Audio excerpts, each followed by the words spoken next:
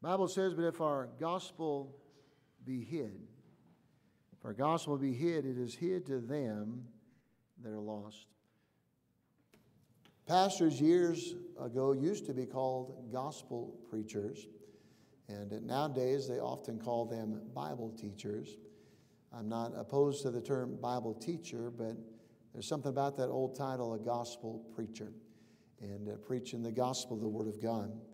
That's what the Apostle Paul said in this section of Scripture that we looked at, verse 1, where it says, We have this ministry. Remember, I told you to mo- notice those two words there. This ministry is referencing the gospel ministry. This is a ministry that we all have, it's not unique just to a pastor. Uh, each and every one of us have this. I wish I knew what my ministry was, preacher. I wish I, I knew what God's will was for my life. Uh, this is your ministry. This ministry is a gospel ministry that we have. Paul made the gospel of Christ the center and the central focal point of his preaching. And if we as a Christian are to make gospel preaching or gospel uh, part of our life, then Christ will also need to be that central center figure of our lives, everything revolving. And this is why our life gets so out of balance. Uh, we try to put God in our life as one spoke of many spokes of our life. You've got family and recreation and work and God and you know all these other things. And, and then we put ourselves at the center of the hub of the wheel, and we wonder why our life is so out of balance. We wonder why our life is running so roughly. And it's because the center, the hub, the focal point of our lives has to be Christ. It has to be Lord Jesus Christ. And every area of our life, the spokes of our life, and there's a lot of them. There's a lot of things that goes on in our life, uh, but it has to be focused upon Christ. And when that focus is right, then the balance of our life is going to run much more smoothly, and uh, you'll have much more enjoyment of life. And that was the focal point of Paul's ministry was a central focus of Christ, the gospel of Christ in his preaching. Uh, he continually preached on the crucifixion of Christ, the resurrection of Christ, and those two being integral parts, working hand in hand uh, with each other. Paul also refers to this gospel as the glorious gospel of Christ. Uh, the word glorious means worthy of great honor, worthy of praise, worthy of much uh, exaltation. So the gospel cannot be downplayed, it cannot be minimized, it cannot be put on the back burner. Uh, it's a glorious gospel. It's worthy to be praised, it's worthy to be elevated, it's worthy to be honored uh, each of our life. And the central message of the Bible uh, should be the central message of our preaching, which is the glorious gospel of Christ. But I want you to notice this little phrase that Paul says here. He says, If our gospel be hid. Now, what, what is the gospel? Uh, the gospel is the most wonderful message uh, that a world in hopelessness needs if they're ever to find hope in their life. It's the life, the, the sinless life, uh, the vicarious death, meaning He dying in our place, and that glorious resurrection of the Lord Jesus Christ. That's what the gospel is. Uh, the word gospel means good news. And uh, so when you're sharing the gospel, you're sharing good news. Uh, we don't have to apologize for sharing good news. You don't have to uh, feel bad about sharing good news. You don't have to uh, feel like you're in, infringing upon someone's right because you're sharing good news. I mean, you got some good news to share. And it'd be like someone showing up at your door and, and uh, some sweepstakes, you know, uh, sweepstake winner, and they show up and they're not ashamed or embarrassed or bashful to share with you. You may not be interested at first, but they've got some good news for you. If you would just allow them to speak a little bit, you say, wow, that's some great news. I'm a winner. I've won this. And uh, we've got something much, much more valuable and precious uh, to the needs of men, mankind, to men, uh, as the gospel of Jesus Christ, more than what the world can offer. And so he says, if our gospel, uh, being that wonderful message of salvation, the source of the gospel of God, and the person of the gospel is Jesus Christ. That good news about God sending Jesus to this world uh, to die in our place, to suffer our hell, and to be our Savior. John 3:16 epitomizes the gospel for God so loved the world that he gave his only begotten Son, that whosoever believes in him should not perish but have everlasting. That's the gospel uh, in one verse, in a nutshell, that God reveals to us. The gospel is God uh, spelling out his love uh, in us in Jesus Christ. It's, a, it's not just a lovely story, the gospel, it's a declaration of a fact a historical fact that God was not was giving upon his son that which we deserve, and he suffered my hell, he paid my sin debt, uh, he suffered my consequence of sin, and uh, allowed me to obtain forgiveness of sins, the wonderful, God, glorious gospel of Jesus Christ. The gospel is not good advice, uh, about how to, to, uh, to be saved. Uh, it's the good news about what God has already done for us in Christ so that we can be saved. There's nothing that I have to do. Here's the advice of what you need to do to get saved go to church and turn over a new leaf and, and uh, all this kind of stuff. No, the gospel is a message that's already been done. The transaction is done when Christ died on the cross. What do you say? It's finished. It is finished. And when he says it is finished, then that means there's nothing else that needs to be done. The transaction's done. The satisfaction of God has been satisfied. Everything is forgiven when you come to Christ as your personal Savior. So it's not just good advice, it's a wonder of God's love for us. The gospel is summed up in 1 Timothy chapter 1 in verse 15 where it says it's a faithful saying and worthy of all acceptation that Christ Jesus came into the world to save sinners of whom Paul says I'm chief. And he said, I'm the worst of sinners, but that's the gospel. He came to save me, and he came to save you. And aren't you glad for the gospel message of salvation that has brought to us that glorious gospel where God commends his love towards us, and that while we're yet sinners, Christ died for us. And that's the good news of the gospel. But Paul says, if our gospel be hid. Now, this is a remarkable statement that Paul makes here. He calls the gospel our gospel. We understand the gospel is the life, death, burial, and resurrection of Christ. We understand that. But Paul says this is our gospel. And in another verse of Scripture, in Romans chapter 2, verse 16, he declares that it's my gospel. Romans 2 16 says, In the day when God shall judge the secrets of men uh, by Jesus Christ according to my gospel. And so then, in what sense is the gospel our gospel. And in what sense, we didn't die on the cross. Uh, we didn't, you know, uh, suffer that sin debt. Uh, what is it? What, what essence is it of, uh, of my gospel? I did nothing a part of the gospel. It's all Christ. But Paul said it's our gospel. He said it's my gospel. And so, how does that apply? In what sense is the gospel our gospel? I think the first thing that we can look at about the reason that it's our gospel is because we've heard it. There's been millions that have never heard the gospel message of salvation. We live in a country where we probably have heard it time after time after time after time. We've heard it many times, much more than just one time. But there's many untold that have never heard the message of the gospel, the glorious gospel message that Christ loves them and died for them and wants them to go to heaven. And that's why we support missions around the world world to be able to go to people who have never heard the story, have never heard the message of salvation, and have never been exposed to the love of God and the goodness of God and the mercy of God, and that God wants to forgive them in their sins and save them from hell and give them a home in heaven. They've never heard that story. And so it's our gospel. Why? We've heard it. We've heard the message of the gospel story.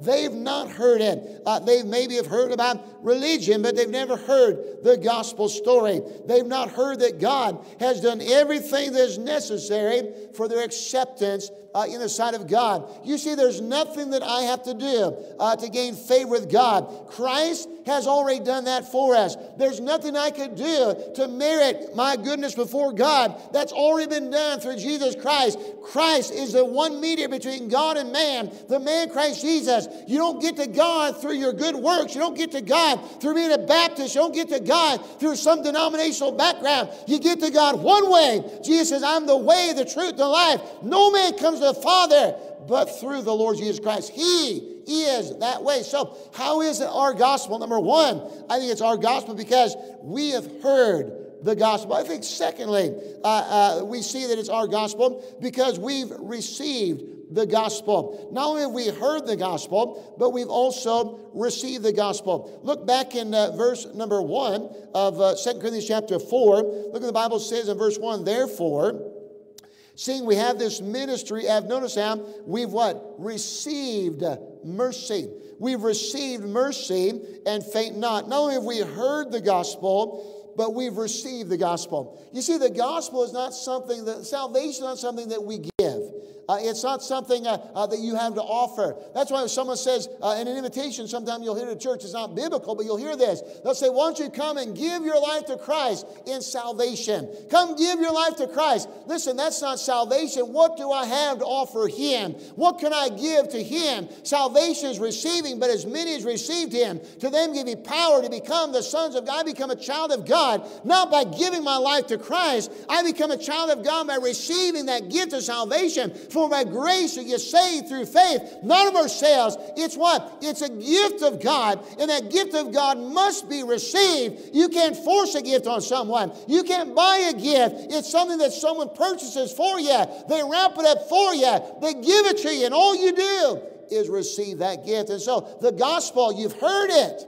How shall they hear without a preacher? But then we also, those many of us today, we've received the gospel. We know Christ is our Savior. You know your sins are forgiven. You know you're a child of God. You can look back to a time and a place, not when you joined a church, and not when you turned over a new leaf, and not when you're confirmed, and not when you're baptized, but you look back to a place in your life where you trusted Christ as your Savior, and you can say, I know I'm a child of God. I've received the gift of salvation. Now, there may be some of you here today, you've never received that gift of salvation. You've heard the gospel. You maybe have come to church now for quite some time. You've heard the message of the gospel over and over again, but you've yet to receive the gospel. The Bible says if you're going to go to heaven, you've got to receive. Why? That's an act of your will. That's a choosing on your part. No one forces you. Nobody manipulates you. Nobody manhandles you. The offer is given. The invitation is given. The message is proclaimed. And you by faith receive it by faith, accepting Christ as your Savior, you receive that gift. And so maybe today, some of you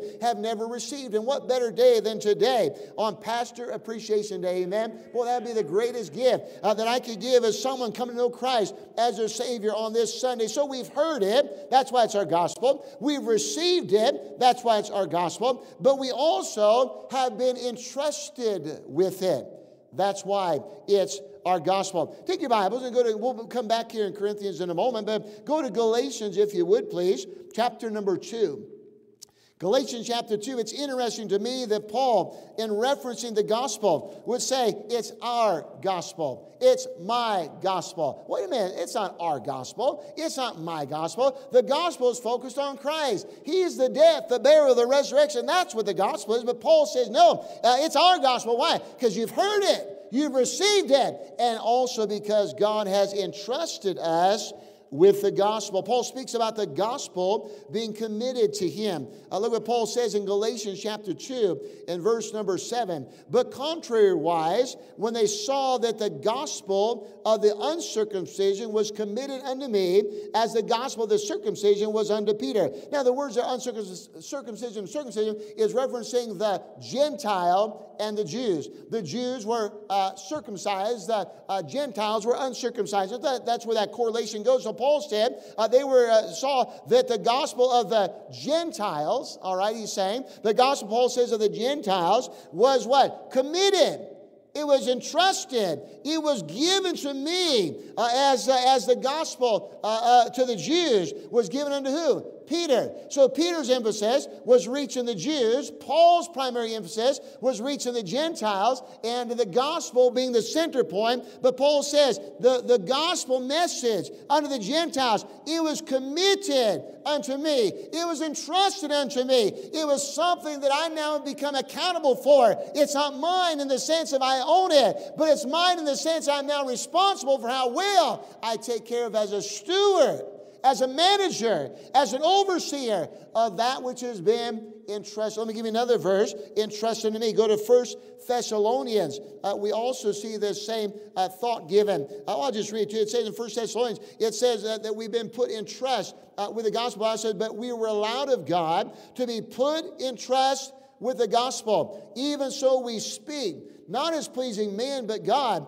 which trieth our hearts. And so uh, he tells the Christians there, he says that uh, we've been put in trust with the gospel. So what are we to do? We're to speak it, we're to proclaim it, we're to tell it. God says uh, it's our gospel. How come? Because we've heard it. It's our gospel because we've received it. We've accepted Christ as our Savior. But it's also our gospel because God's entrusted that message of salvation, that message of Christ to us, so that we would then tell others who know not Christ the stewardship of the gospel is ours that we then need to pass on to others. So we see then, number one, uh, as we look at uh, uh, this thought of, of the gospel uh, being hidden, there are several ways that we see that the gospel is our gospel. It's ours because We've heard it. How shall they hear without a preacher? We've heard and uh, we've received it. But as we've received it, then they give you power. We got saved. We accepted Christ as our Savior. Now that we've heard it, now that we've received it, God says, All right, now I'm going to put you as a manager, as a, a steward, uh, as a, uh, that which is entrusted to you.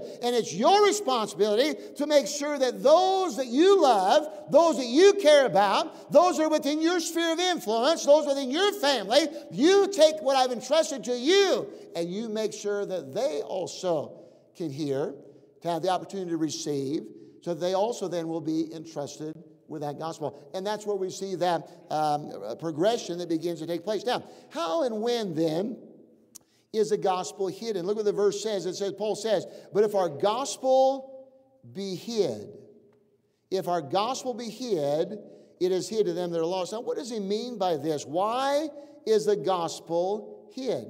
The gospel is not hidden because it's complicated, uh, because it's really very simple. As simple as two plus two is the gospel is very, very simple. In fact, the Bible says if you have faith uh, as a little child, He's remember he said, suffer the little children. They were the disciples. They were, get these kids out of here. Get these kids out of here. And he said, oh no, oh no. Uh, if you had faith like these little ones, uh, suffer little, let the little guys come to me. Let the little kids come to me. Why? Because they have a faith, and their faith is what's going to allow them to obtain salvation, eternal life. He said, Listen, you allow them to come unto me. This gospel message, it's not complicated. You don't have to have a degree. You don't have to have a lot of, uh, uh of, uh, of knowledge and wisdom under your, under your belt. All you need to do is have faith. It's simple. In fact, the more knowledgeable we become, the more complicated we make the gospel. But it's not because the gospel's complicated it's because we've complicated it. Well, you got to do this and this and this and this, and then don't do this and this and this and this, and then maybe you'll be saved.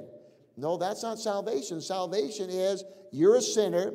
Because you're a sinner, you deserve hell. Jesus loves you and doesn't want you to go to hell. He died on the cross for you, and all you have to do is trust Christ as your Savior. Two plus two, that's four. Four things you got to understand, four things you got to believe, four things you have to receive, and once you do that, you become a child of God. It's not being a Baptist, it's not getting baptized, it's not turning over new, it's not living a certain type of lifestyle, it's just receiving Christ as your Savior. Trusting Christ and his finished uh, uh, sacrifice that he made for us on the cross as a means of salvation. But what's it mean when it says the gospel is hidden?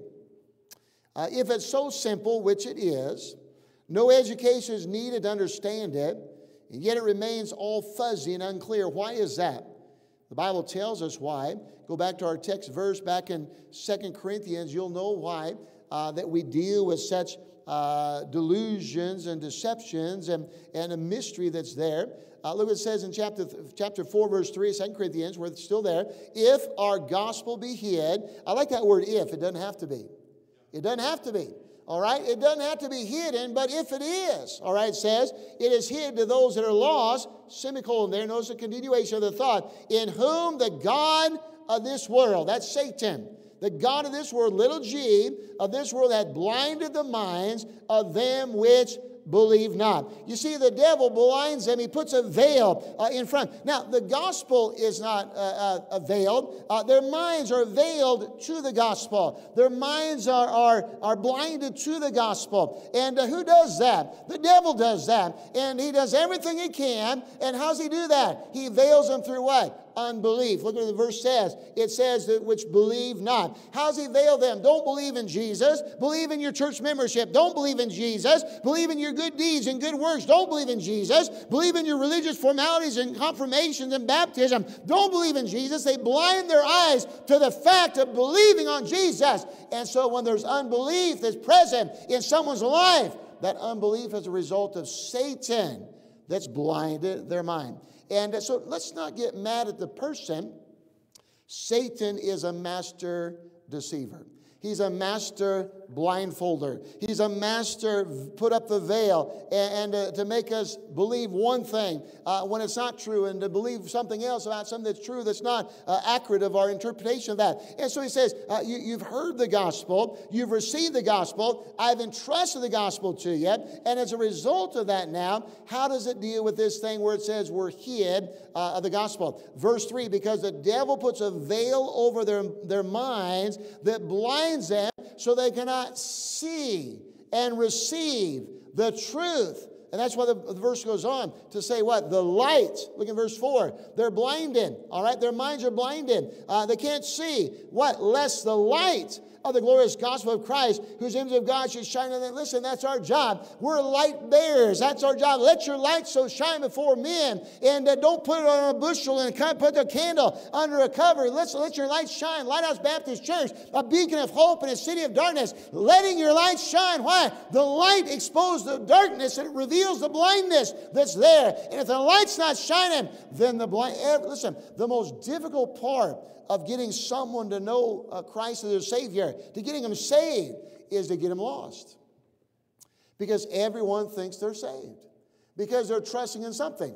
Oh, yeah, I, am a good, uh, you think you're going to heaven? Oh, yeah, I think so. How come? And they'll give you, you know, 8, 10, the honor track that we've been using, 20 reasons why people think they're going to heaven. And all 20 of them are wrong. And other than trusting in Christ. And so there's a lot of things that we can trust in and believe in. And guess, guess what? They're good people. They're sincere people. They're just blinded then Satan has put a veil in their minds that they cannot see. They, they're unbelieving. And our job is to take the light of the glorious gospel of Christ to reveal the blindness that they have so they can know Christ as their Savior. That's a privilege, responsibility, or uh, that we've been entrusted with to take the gospel to them. And so it's not complicated. The gospel is not hidden uh, the gospel is hidden from the minds of those that, uh, that d- believe not or that don't believe. So, this is why Satan is doing today. And his strategy today uh, is the mystery of Israel's blindness. Uh, the mystery of Israel's blindness, and that's demonstrating the fact of the Gentile blindness.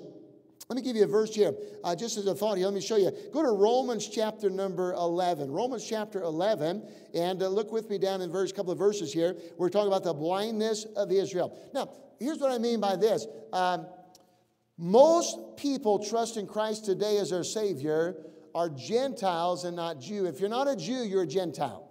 And it doesn't matter what color skin you have, it doesn't matter what part of the country you're in. According to the Bible, you got, you're a Jew or you're a Gentile. And uh, the Jews, uh, Jesus came, the Bible says Jesus came unto his own, that was the Jews, and his own received him not. They heard the gospel, they saw the gospel, but they did not receive the gospel. And I'll tell you why they didn't receive the gospel. But listen, the greatest news that we have as Gentiles is because of them rejecting the Messiah. Then Christ in turn turned his direction towards us as Gentiles. And now, for all these many years, it's Gentiles that are trusting Christ as their Savior. And it's the Jews that have been blinded by Satan to prevent them from seeing Jesus as the Messiah. Even today, uh, rarely will you see a Jew come to know Christ. There, there's many. There's some that'll get. We have. We've had some over the years have gotten saved, but uh, it's a rarity. It's a rarity everyone, most everyone, 99% of folks getting saved today are Gentiles. Uh, which means they're not a Jew. And so, look at this verse here. We're talking about how Satan blinds the minds uh, of the, uh, the, the, uh, the, the, the, the, calling the, the Israel's blindness. Romans chapter 11, verse 25 and 26. For I would not, brethren, that you should be ignorant of this mystery. Lest, now remember, Paul is writing to the Gentiles. He's the gospel of the Gentiles. Peter's taking the gospel to the Jews the circumcision, remember the uncircumcision we just saw in the previous verse. So Paul's writing to the brethren there, so he's writing to the Gentiles, and he says, Be ignorant of this mystery, lest you should be wise your own conceits, that blindness in part, no sound, is happened to Israel, until the fullness of the Gentiles become in. Now, this is the part we're at right now. Uh, you see, the, the nearness of our Lord's return is based upon when the fullness of the Gentiles is coming in. When that last soul is saved, when that last Gentile comes into Christ, and God allows the fullness of the Gentiles to take place, then at that moment, uh, then we see that the rapture of the church takes place. And during that seven year tribulation, the Gentiles uh, that have not accepted Christ as Savior prior to that will be blind to the truth of what's going on. And the Jews during the tribulation period, that seven year period of time, they will come to know Christ as their Savior. Why? Because the Jews require a sign.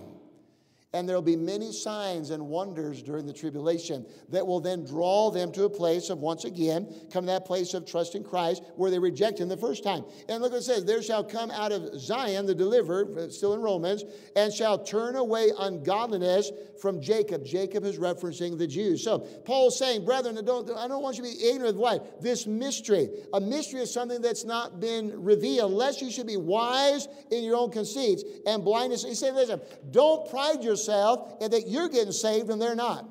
Don't think you're special because you're trusting Christ your Savior and the Jews aren't. He says, don't, don't get all cocky about it. It's because Satan is blinded, put a veil, a partial veil over the Jews where they will not see Christ as their Messiah.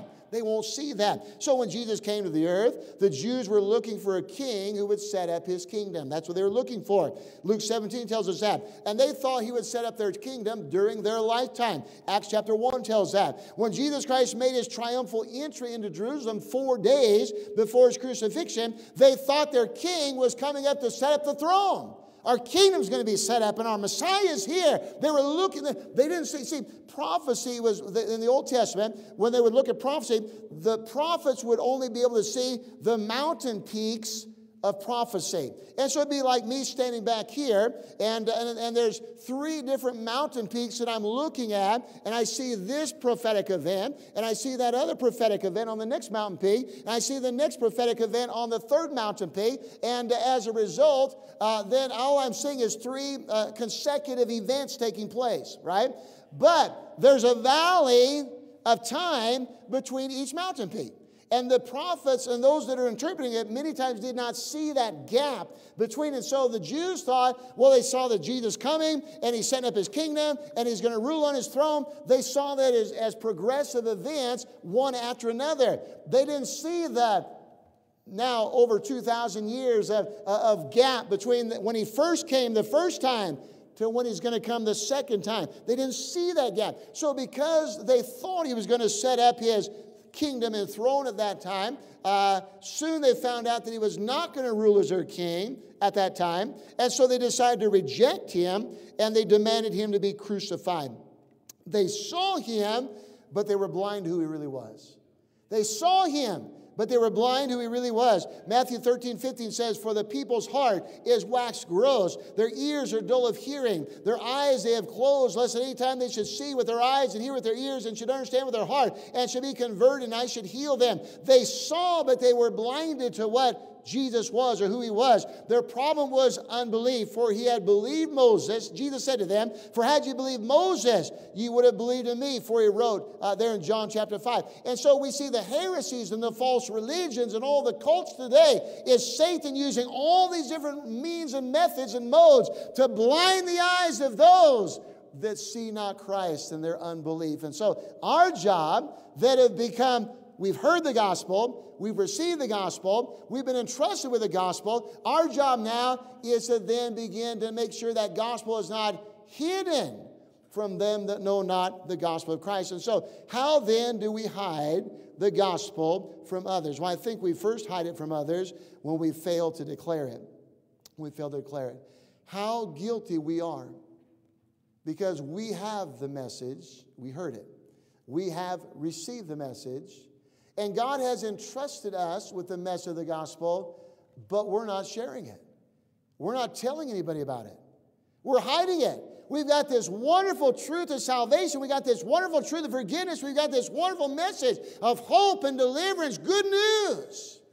But we're not sharing it and we're not declaring it. There are people around us in our lives, in our worlds, from whom the gospel is hidden because we're hiding it from them. We're keeping it from them. We're not making it known to them.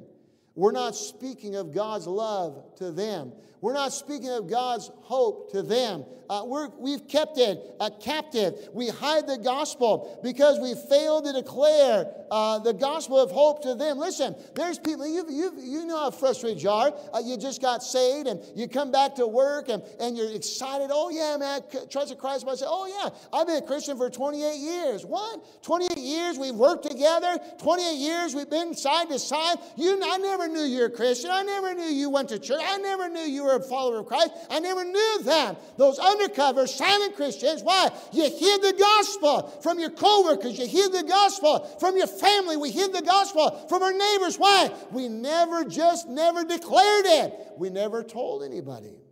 We hid it. We were silent, undercover, behind the scenes. We didn't want anybody to know that we were a Christian. But we also hide the gospel when we fail, not only to declare it, but when we fail to demonstrate it. We're not only to speak the gospel, but we're also to live the gospel. Yes, we're to speak it, but we're also to live it. Remember the man in the tombs that was delivered from the demon uh, possession and, and, and uh, the maniac there, Gadara, and, and uh, Jesus came and healed them and took care of them. You know, Jesus told him to do two things. I want you to go home and tell and show what great, God, what great things God has done for you. I want you to go tell them. I want you to show them Listen, God says the gospel uh, is hidden. How do we hide the gospel? We never declare it, we never share it, we never verbalize it, but also we never live it. Uh, we never live a life that uh, demonstrates the gospel message. You see, the gospel is hidden by our inconsistent lives. Why would a pagan about uh, uh, uh, serving alongside us or working alongside us, why would they desire the gospel that doesn't change or transform our lives as a believer? Why should one become a Christian if it amounts to no more than church attendance? Attendance occasionally on a Sunday, while the rest of the week we live like the world, we talk like the world, we act like the world. There's no demonstration that God has done something amazing, something wonderful in our lives. So we hide the gospel because we don't talk about it and we don't show it in our life that we live. Let me give you a verse here. Go to 1 Peter chapter uh, 3 and verse number 15. 1 Peter chapter 3 and verse 15. We hide the gospel from others by failing to demonstrate it in our lives. Now, I'm not uh, condoning lifestyle evangelism in replacement of verbalizing the gospel. Bible says, go in all the world and teach. That's verbalize, preach, that's teach. And uh, but our life better be matching up what we're talking about, and uh, we better be talking, and that ought to give accountability how we're living our life. They ought to work together as two sides of uh, the same coin. Look what it says in 1 Peter chapter 3, verse 15. But sanctify, that word sanctify means set apart. Set apart set apart what? The Lord God in your hearts. Boy, be ready always to give what? An answer to every man that asketh you a reason of the hope that is in you with meekness and fear. You say, but preacher, nobody ever asked me any Bible questions. Nobody ever asked me to, I've never had to give an answer. Well, maybe that's because our attitude as a Christian and our life that's lived out, out, out, out lived of our life does not raise a question uh, that would create a curiosity in the heart of an unbeliever. They ought to see something in my life and in your life would create a curiosity. Say there's something different about your life. There's so, you've got hope in hopeless times. You yours upbeat and positive positive. You always have a good outlook on life. What is it about you that makes you different? Listen, your life, your attitude, your goals, your dreams, something how you live your life ought to create questions. Has anyone ever asked you about the way you live and the attitudes you have and the way you live your life. If they're not asking you, then you're not demonstrating the gospel because if you're living the gospel, you're going to draw people out of curiosity and say, there's something. Why do you always act that way? Or why do you always dress that way? Or why do you always talk that way? Or why do you always behave that way? Or why do you always work so hard at the job? Or why are you always so respectful of the boss? Or why are you always so? Well, they're going to ask you something. Why? You're living the gospel and it's going to show forth. So it's because our testimony, the people will ask questions. They want to know how we can explain the hope we have in a hopeless situation. There's no better time than this time in which we're living in the world to let your testimony, let your light shine. You know what? People are living in fear. People are living in a hopeless thing. I mean, you're hearing about the, the nuclear this and the inflation this and World War III this. And, I mean, the world, the world is bombarded with this, but listen, the child of God, it doesn't mean you walk around as though your head's in the ground, as though everything's you know, wonderful and hunky dory. But listen, it's your faith and your hope in God and knowing the Word of God you have a testimony that you go to your coworkers, your families, your friends, your neighbors, they watch you and there's something different about your life. As the whole world seems to be imploding, there's something in your life. Your life isn't imploding, it's flourishing, it's prospering. God has been good to you. And that creates some questions that require be ready always to give an answer. Be ready to give an answer.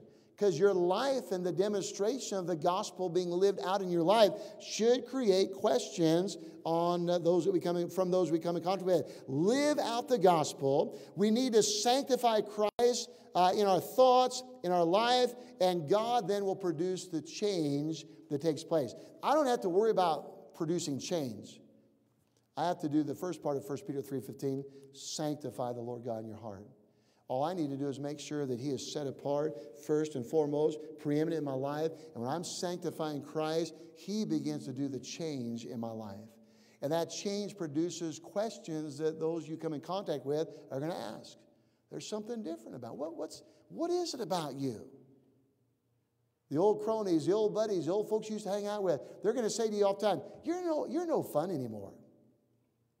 You're no fun anymore. Now, how they define fun going out drinking, having a hangover the next night, or sleeping around, this and that, everything else. And all that's, that's not the, the, the way fun. God offers something that's lasting. God offers something that's, that's real. God offers something that brings fulfillment in your hearts. And so he says, if our gospel be hid, how do we, how do we hide it? When we fail to declare it, when we fail to demonstrate it. But also, I think, thirdly, when we fail to defend it. When we fail to defend it. Paul in Philippians chapter 1, verses 16. Let's look there. Philippians chapter 1, verses 16 and 17. Paul in his letters had a lot to say about the defense of the gospel. Philippians chapter 1, verse number 16, verse number 17.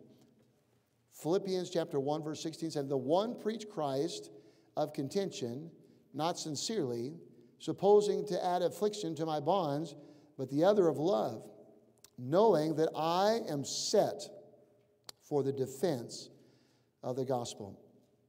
Someone might say, well, does the gospel even need defending? Does the gospel even need defending? Well, um, no, it doesn't. It, stands alone, as we'll see here in a moment. But yet, on another avenue or angle, at least according to the scripture, there is a part in another way that it does need defending. The true gospel is under attack.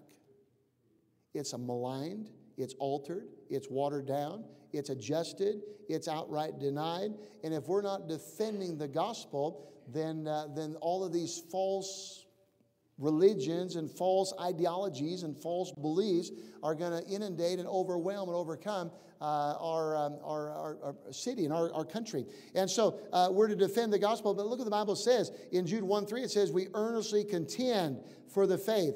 Uh, the situation on every hand calls for the defense of the gospel. And uh, the greatest defense of the gospel is a offense of the gospel. And that's why much of the offense uh, of the gospel is offensive in the sense of it's on the offense. Romans 1:16 says, "For I'm not ashamed of the gospel of Christ, for it it is the gospel, is the power of God unto salvation. Listen, the gospel described as a powerful, explosive, uh, uh, uh, uh un- unchangeable event. Uh, it's not some fragile thing that has to be protected. It's not some real uh, delicate thing that we have to defend. Listen, the defense is that offense. Listen, we want to barrel through the power of God is the gospel of God. And God said, listen, the greatest way to defend the gospel is to boldly proclaim the gospel, go on the offense offensive. And you become the defense of the gospel as you begin to offensively go forward with the truth. And it begins to undermine the falsehoods that are out there. Paul's saying, I'm I'm to give a defense of the gospel. In Philippians 1.17, the word defense uh, in our Greek language means, uh, comes from the word apologia apologia. It's a word that we get apologetics. Now, that's not, a, we think on the surface, apologia, we're to apologize for what we believe in apologia. It sounds like, well, I'm, I'm, supposed to apologize. Folks, I'm sorry, you know, I'm preaching the truth, but I'm sorry, you know. No, that's not what it's talking about. Apologetics is a legal term. It means the case is made by a defense attorney on behalf of a defendant under attack by a prosecutor. Paul's saying, I'm set to give an apologetic for the gospel, a logical, systematic, scientific, if necessary, defense of the gospel against all attacks of the adversaries. Listen, we've got to go on the offensive and be proactive in preaching the gospel. The apologetic is not apologizing for the truth of the gospel, it's moving forward with the gospel, like a bulldozer uh, moving forward. Here's an illustration, uh, illustrative story to help us understand uh, where I'm going. A famous doctor was dying. On his deathbed, the doctor turns to his son and tells him that I have found the cure uh, to your disease. And his son was dying of a disease, and, and he says, I finally found this cure to a disease. And he says, I want you to take this cure and I want you to be able to pass it on. I want you to share with everyone that you know. The doctor ended up dying, and sure enough, the that, that medicine did cure that son's disease, and he was healthy as, as normal. But the son did not take the message that his father had given to him. He enjoyed the healing power of that medicine. He enjoyed the cure of his infirmity, but he never took that message. It died with him. The message of hope died with him. The message of, of uh, healing died with him. He never shared that, God, that healing message with anybody else. Sad to say, to our shame, this is what we've done. We've received a wonderful spiritual healing through the gospel. We've received the forgiveness of sins. We've received a home in heaven. We've received a new purpose in which to live life. And we've had this wonderful message that's healed us and it's fixed our lives and it's gotten us on the right track. And we were messed up and we were going the wrong way and our life was in turmoil. But because of the gospel of Jesus Christ, He got us on the right path, in the right direction, and doing the right things. All because of the gospel. But we, we were helped, but we never saw the need to help anybody else. We've hidden the gospel from those that need it so desperately. We've taken the cure, we've proved its benefit. We should show the benefits of the gospel by our changed life and declare the secret with our lips to others, but we don't do it. We're told to defend the gospel, but the general picture is we need to go on the offensive of the gospel. Let me say, and I'm done. There's another important question in this verse. It says, For whom the gospel is hidden. Who's it hid from? The word lost. It's hidden from those who are lost. That's a lost word today, the word lost. You don't hear it much in preaching anymore. It's a good, it's a good Bible word. Jesus spoke of the lost sheep of the house of Israel. He talked about the Son of Man has come to save that which is, was lost. In Luke 15, he says, Which of man, if you have a hundred sheep, and if you lose one of them, does not leave the 99 in the wilderness and go after that which is lost until he found him? We may think a person is lost when they die and go to hell. We may think a person is lost when they enter eternity without Christ and they eternally are separated from God, lost in a place called hell. But may I tell all of us today that the Bible does not tell us that one day we will be lost. The Bible says that we are currently lost. If you're without Christ today, you are lost. That's why the Bible says He came to seek and to save That's his is lost. The Bible says, He that believeth on him is not condemned, but he that believeth not is condemned already. If you're here today and you know not Christ your Savior, you're already under the wrath of God. You're already under the condemnation of God. You can try to live all the good deeds you want to do and change over, turn over a new leaf, but listen, you're under the condemnation of God. You're already lost, and you're blinded to the fact of your lostness. And the purpose of you and I as a child of God to not hide the glorious light of the gospel from those we come in contact with. We've got to shine the truth and go on the offensive as we defend the gospel. They said there is a way of salvation salvation. There is a hope of the future. There is a forgiveness of sins. You don't have to die and go to hell. The gospel is your only hope. Christ is the only way. And they're under the condemnation right now. If they die today without Christ, they're already lost. So you're not lost when someone dies and then go to heaven, it goes to hell. You're already, before I got saved, I was lost. I was blinded to my losses because the most difficult thing to do is to get someone lost because everyone thinks they're saved. You know how it is, fellas, when we're lost. and our wife says, You know where you're going? We don't say, I'm lost. I'm going to scenic route, right? And uh, we're going to scenic route. We're going to, wait, Dad, are we lost? No, we're not lost. And you may go 20, 30 miles out of your way and you're driving around. You're not lost. Why? It's so hard to admit that we're lost. How much more when Satan has blinded the minds of those that believe not? Hey, I'm not lost. I'm a good person. I'm not lost. I'm a church member. I'm not lost. I'm better than most. I'm not lost. I volunteer at charity and I give to charity. I'm not lost. I was baptized. I'm not lost. I turn over to new. Listen, you're, you're lost if you're without Christ, you're in the wrath of God. But when you come to know Christ, your Savior, you're no longer lost. That 99, that sheep, the one was lost, and he went and found. The prodigal son came back, was lost, and now is found. And so it may, as we look at this verse, he tells us that we're lost. This may refer to some of the loved ones in your family. Who in your family is lost? Lost. I've got them in my family. We all do. They're lost. Oh, they're good people, but they're lost without Christ. Oh, but they're, they, they're a good husband, but he's lost. He's a good parent. They're good grandparents, but they're lost. They're good kids. They're paying their bills. They're doing it. They're lost. Who is it in our families? Who is it in our, in our neighbors? Who is it in our coworkers? They're lost. They're lost without Christ. Who are they? Is it a grandfather? Is it a grandchild? They're lost. They're perishing. Folks, they're on their way to hell, and we've got to hope that we've got the only hope they have is a message of the gospel. And our Bible says their minds are blinded. There's a veil that's blinded. The God of this world has blinded them from the gospel. And our job is not to hide the gospel from that which has been hidden from them by the God of this world. Are you hiding the gospels from those who are lost? How negligent negligent have we been? How criminal our silence has been. Today, there may be some in hell today because I hid the gospel. You hid the gospel. You didn't tell them. And today they're crying out, I'm in hell. I'm burned in hell because no one told me the gospel. You say, well, they wouldn't have been interested anyway. That would have been their choice. Well, they wouldn't want what I got anyway. That's their choice. Our job is to shine the glorious gospel. Our job is to knock on that door. Our job is to give out a gospel tract. Our job is to invite them to church. Our job is to give them the message of salvation. That's our job. What they do with the message, that's between them and God. But my job is to make sure I'm doing everything I can so they don't have to be lost. Here's a roadmap.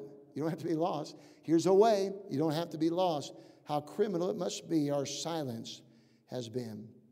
Our lips closed when they should be open? Our lives inconsistent when they should be radiant the beauty of God's holiness?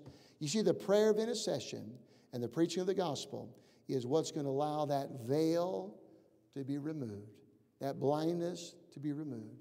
And so we've got people that we know. We need to begin to intercede on their behalf. Say, Dear God, please, would you be merciful to them? They need you. They're, they're, they're obviously not seeing their need for you. They're living life and going forward as though everything's all right. But God, they need you. Please, Holy Spirit of God, would you just let them know their, their let them see their lost condition. Let them see their lost condition. Then, Lord, help me to have the courage and the boldness to be able to present the gospel to them, to get the gospel to them because they're lost without Christ. They're lost without Christ. If our gospel be hid, it is hid to them that are lost. You know, the Bible talks about in Ezekiel, it says that those that we come in contact with, if we don't, if we hide the gospel from them, the Bible says their blood will be on our hands. Their blood. Because God has set us up as a watchman. And when the watchman's sleeping at his watch, there's a lot of hurt and damage and death and destruction that can happen. That's the purpose of watchman. You're to watch. The bridge, watch the bridge, make sure it's okay, it's not washed out. And you got to watch and you're on guard, you're alert. Listen, you're the watchman, the point man. And if the watchman's not doing his job, then the blood of those that die and go off that bridge and those that die and go to hell, their blood will be on my hands and those blood will be on your hands because we didn't tell them. We didn't live the life that should have uh, caused them to quit question to come towards us. It didn't give us the privilege to tell them the wonderful message of salvation. Who in your family, who in your sphere of influence is lost? And God has given you, the entrusted you with a wonderful message of hope to that lost person, and they're just waiting for you to show them the way. They don't know they're lost. They don't know they're lost. The most difficult people to reach, Jesus told us this. The eye of a needle and the camel going through the eye of a needle. The most difficult people to reach with the gospel are those that are well to do, the wealthy, those that are materialistic, those that have a lot of stuff. Because they don't see, they don't see their need for God. They see church as a crutch. They see God as, a, as sort of a cane that we limp upon. And uh, they see God as sort of a scapegoat. Uh, they don't see their need for the gospel. You spot, listen, you, pick, pick some ritzy area of town and take two hours and knock on doors. Tell me what kind of response you get. Now, they still need to hear, but tell me the response you'll get. They don't need God. They got the this and that and these cars and these boats and these this and this that. And they got all this stuff they think they they're trying to fill up their life with all this stuff to give them security and strength. And that's why Jesus says, go the highways, the hedges, the byways, go out, just out and about, just, just where people are living. And he says, compel them to come for my house. I want it to be filled. And you go out there and you find someone that realizes, boy, I don't, I don't deserve a Savior. I've messed up. Boy, I, have I've done bad and, and my, my marriage is, is destroyed and my kids are this and I've done this. I'm here. All of a sudden, they, re, they don't think they, they could, God would even want them. God said, No, he, he wants you. God wants everybody, but it's our job and it's your job. There's people in your life, there's people in my life, I've been hiding the gospel from them. I've been hiding the gospel. And God said, if it's hid, it's not going to affect, I'm still going to heaven. The effect is going to be on those that are lost. And God has entrusted you and me with a sphere of influence of people that are in your life. Will you recognize the responsibility say, you know what? I'm working this job around a lot of lost people. Hey, that's your mission field. I'm living in a neighborhood, there's a lot of lost people. That's our mission field. My family, boy, there are a lot of lost. That's your mission field. They're lost. We're found. We're not lost. We know the way. We know the way to happiness. We know the way to satisfaction. Let's not be a silent witness. Let's not be an undercover Christian. Let's be proud to let others know I'm a Christian. I'm a Christian. Don't be that one that said, You've been a Christian all, we've worked all these years together, and you never, I never knew you were a Christian. Shame on us. Shame on us that they never knew we were a Christian. They never knew. There was nothing about us that made us different than anybody else. Like, I never knew that. Why didn't they? Because we were hiding it. Father, help us this morning. We're all, we're all guilty as charged.